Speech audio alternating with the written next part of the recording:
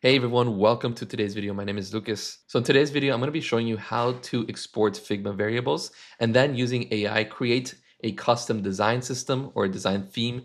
And then basically you can use that theme to create different types of prototypes, different types of screens, different types of flows. This workflow is basically meant to save you time because instead of having to manually, you know, set up those different designs, you can just use AI to do so. So without further ado, let's go ahead and get started. But before we dive into today's topic, I'd love to invite you guys to my Discord community where a bunch of different startup founders, designers, developers from all over the world, and we get together every single weekday to talk about different tools, different topics, different challenges. So if you guys are interested in joining, link is down in the description below. So this is the design system that we're looking at. These are the different variables. We have different fonts. As you can see, instrument serif is my heading typeface and instrument sans is my body typeface. We have our color schemes. We have over here our different buttons. And I do have a bunch of components that are already ready for me to use. So big shout out to Relume for making this happen. I actually created a project in Relume like this. Um, by the way, I'm going to have the link to Relume in the in the description below, but I shuffled these colors. I got this color I liked this specific font. I've used it in the past before. Also this one for the body. And you can kind of play around over here to see how these different things match. I really like this design. It looks very clean. And then basically what I did is I clicked on export and you open this Figma kit inside of Figma. And then once you do that, you basically go down here to your plugins, click on Relume, and then you import that project over here. And now you get all of these different sections with your typography, with your color style applied to it. As you can see, these are all the different pricing sections over here. And this is obviously very nice to have, but imagine having the same theme and bring it into an AI tool that can automatically figure out the different sections that you need based on the prompt that you provide it with. So for example, if you're trying to build a landing page, if you're trying to rebuild a specific feed from your app and you have these variables inside of Figma, you can just export them and I'll bring them into this new AI tool that I'm going to show you and do that there. So now once you're ready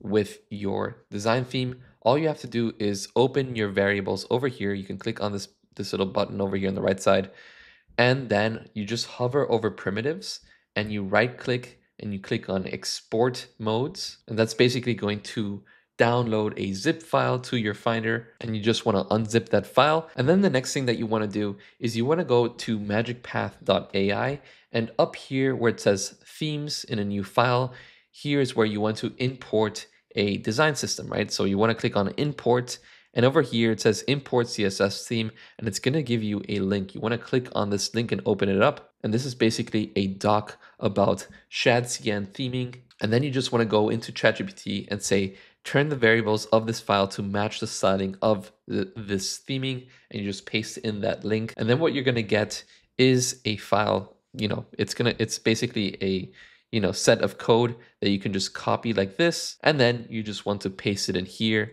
click on apply and boom. And as you can see, all of the colors are there. The typography is there as well. And sometimes you don't really see the preview over here, specifically when it comes to typography. So you just want to say it over here in the rules, always use instrument serif as the header text and instrument sans as the body text. You want to click on save and then we can name this theme. We can call it, you know, variables tutorial. And then this is where the fun starts, right? You can double click somewhere over here to open up a new component. And down over here, we can, uh, we can select variables tutorial, which is our theme that we just imported. And I'm going to select the Gemini 3 Pro model over here. Now this is like the slowest model inside of MagicPath, but it provides the best design output in my opinion. And then we can create something as simple as a sign-in card, a sign-in card that includes Google sign-in and GitHub sign-in, for example. Boom, we, we submit that. And then over here on the right side, since it's an infinite canvas, just like Figma, you can start creating more things. We can even create editorial style websites for a specific SaaS company. Click on submit.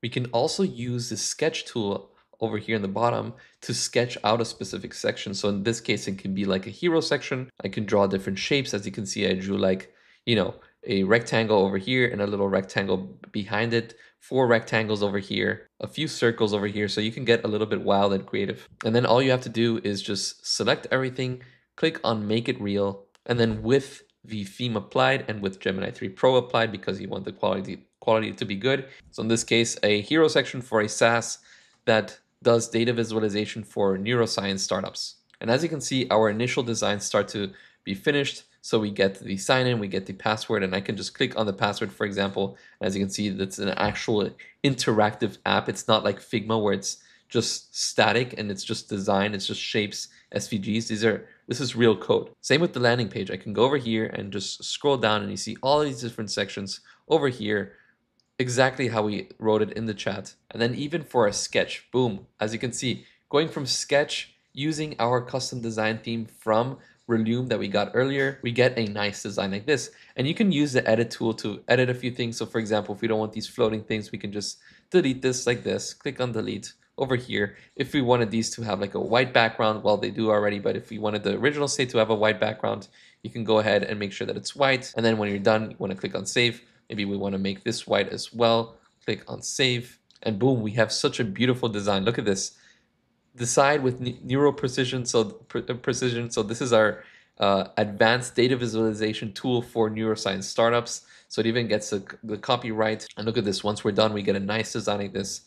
Really creative hero section that we can combine with our other designs. And again, since this is code, we can get this and we can export the code. We can open it directly inside of Cursor. So if I click on open in Cursor, we get this command that we can copy to our terminal. And when I open my terminal, I'm just going to paste that command in there and we're going to name this to neuroscience project and I'm going to open it inside of cursor and we have our project so I can just click on this and uh, write yarn dev to run the project in our local host and I'm just going to open it in cursor browser and as you can see boom we get our design inside of cursor. So yeah guys hope you enjoyed today's video. If you have any questions or comments or anything please let me know down in the comments below. And yeah guys thank you so much for watching today's video.